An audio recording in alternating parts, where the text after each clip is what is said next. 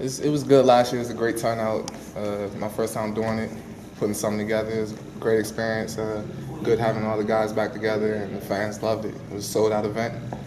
Uh, hopefully, it will be the same this year. How hard is it to get guys to come back? it was harder than I thought it was, yeah. But I think the guys did a real good job of, of committing to it. You know, we only had about three people that dropped out. Uh, I think it was Mike Gansey and Pat Beilein dropped out last year, but they committed again this year. So hopefully we can get some some new guys in and know, just have a lot of fun like we did last year. Did you learn anything from that? Did you tweak anything? Any different approach this year? Oh yeah, for sure. Uh, we, well, my team, we we basically just sent out an email to everyone who bought tickets online and said, what did you what did you guys like? What did you what you guys didn't like? And it wasn't too many complaints. Uh, it's just uh, a couple things that we can just fix, you know.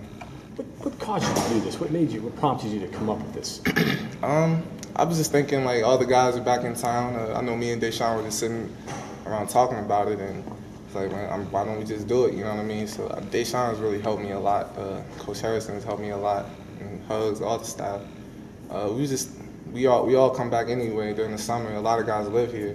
You know what I mean? So why not just get everybody back? And most of the guys that are here over the summer are just from the Final Four team and stuff like that. So I know a lot of people want to see see that, you know, and I like learning about past experiences of uh, West Virginia players that used to play here before. You know what I mean? So uh, it's a good time. We're gonna we're gonna try to get like a live radio show on Friday, the night before the game, and just sit down and talk like a you know like at a bar or something and let everyone hear how it was playing when they used to play and. You know, we got guys from like Daryl Prue and Herbie Brooks, and I like hearing the stories, man. Just the stories. You touched on that. You had them last year. Any new names coming this year from the older generation? Um, so far we got Pat Beilein, uh, Marcus Goree, and uh, Mike Gansey committed. Uh, I'm looking for Pittsnogle if anyone has seen him. He's hibernating, but I'm looking for him. I would love to have him back. Man. He'd bring some people out. Yeah, for sure. You need some tips on radio shows. I know a guy standing here that does a pretty good radio show. Oh yeah, yeah. oh yeah. Yeah, guy back here, standing back here in the hallway. Oh okay. Huggs. yeah. I think uh, we, I talked to Tony Caridi about Yeah. doing that. Uh, he said he might be able to do it. Uh, he won't be able to MC the game this year. It's, his, uh, his- I think it's 30th wedding anniversary or something like that. I'm not sure. Yeah, you Is can't, it- can't skip that. I didn't even recognize you.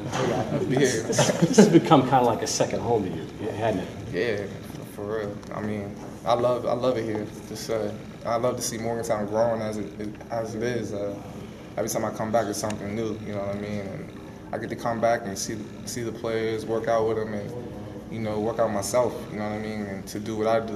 You know, I still play basketball overseas and stuff. So, I mean, I just love it here. The last thing about that, you know, Dave Tallman, I'm sure that's a big help too, having him over there to do this. Coach Tallman is a, a big. I probably wouldn't be able to.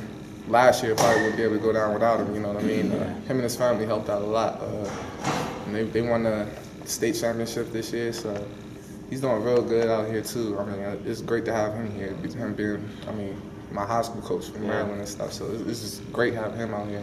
What about this here, this facility here? That's a pretty nice place to work out in the summertime. Oh yeah, I wish I wish we would have had it when I was. I probably would have slept in here.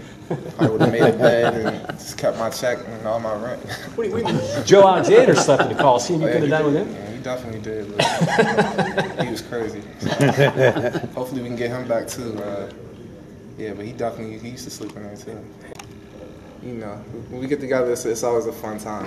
So, I mean, we definitely uh, recollect on we we recollect on most of the things that happen off the court and on the court. You know what I mean? Just you know, everyday things that just went on. Like I can't even explain right now. But you said losing them. I mean, that was such a successful team. You, you hear that a lot from guys. They seem to remember the losses more than the wins sometimes. It's more of a like, man, we should have won that game. You know what I mean? Or if this would have happened, we would have won. Like, but we, we definitely remember.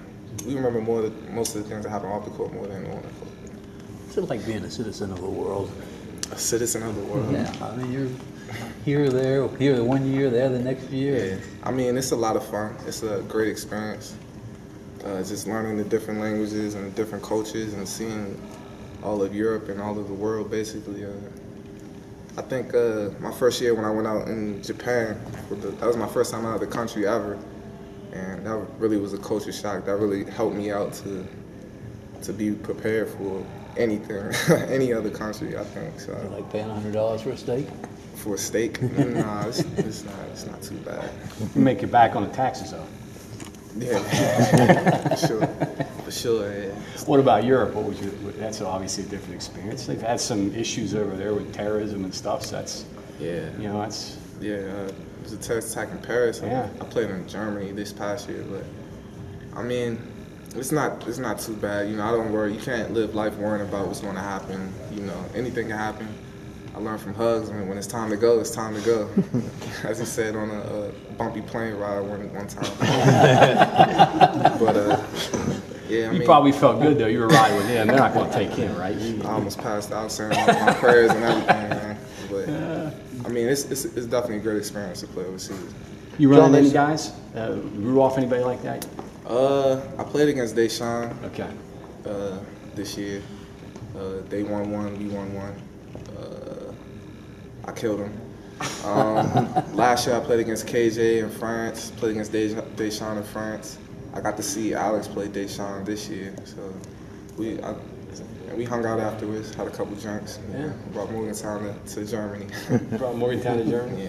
yeah. John, they say that a person's life is made up from the decisions that they make throughout the course of it.